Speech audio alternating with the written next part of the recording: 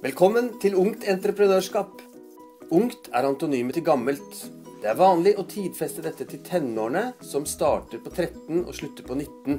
Når vi snakker om unge, mener vi alle som er under utdanning. Entré kommer fra fransk og betyr å gå inn. Du kjenner sikkert igjen 'enter' på engelsk og ordet 'entré' når du kommer inn i huset ditt. Når vi jobber med entreprenørskap, handler 'enter' om å gå inn i en problemstilling og identifisere en utfordring. Prenør er også fransk. Et av de første franske verbene man lærer på skolen, er 'prendre', som betyr å ta. Prenør betyr noe sånt som å ta fatt på, å gjøre og ta initiativ. Skap stammer fra norrønt og betyr evne. Det brukes ofte som et suffiks, som i partnerskap, råskap og faenskap.